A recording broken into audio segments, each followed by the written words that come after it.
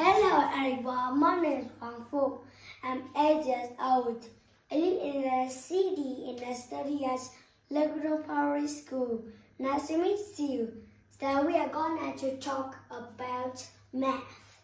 Lesson 296. Seven problems with bar graphs. 1. Bags garbage pickup. So here are the a person that's who picks a bag. They are called a garbage hunt. You know garbage hunt? Here. A garbage hunt is something that you go hunt. He hunts more, you're the winner. Receipt.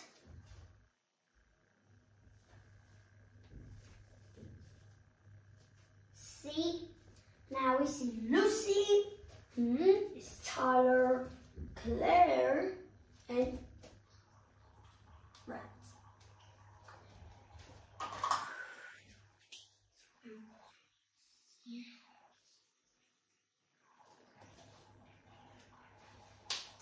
See? That's So we see that Lucy go up to three. Tyler go to seven. Claire go to five. And Brent go to one. So let's see the, the boys plus together and the girls too. Now 7 plus 3 is 10. Now 10 plus oh, 5 plus 1. 5 plus 1 is 6. So we have 60. Easy stuff. Here. So we have boys. The boys have 6. Uh, 7 plus 1 is 8. These are the boys. And the girls. 5 plus 3 is also equals 8. So both our team, they get the same process. Easy stuff. So now we go to lesson 299, solving problems with bar graphs 2. Now we have the people. See? These are people who like this sport. See? Look. See people, oh look at that. Two people like basketball. Six people like soccer way to the back. Five people like tennis. But you know why?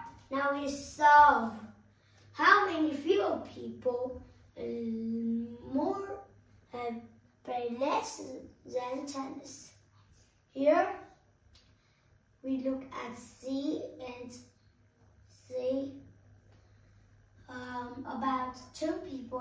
10 is 5, is we will have 3, we get the same price. So, you see it?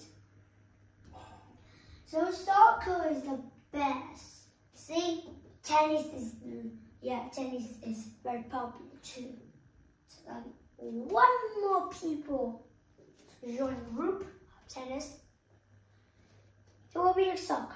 So today we learned about solving problem with bar graphs one and two. It's very nice and I hope you have a great day. Have a nice practice. Goodbye. So we can play. Hmm. Basketball. Soccer.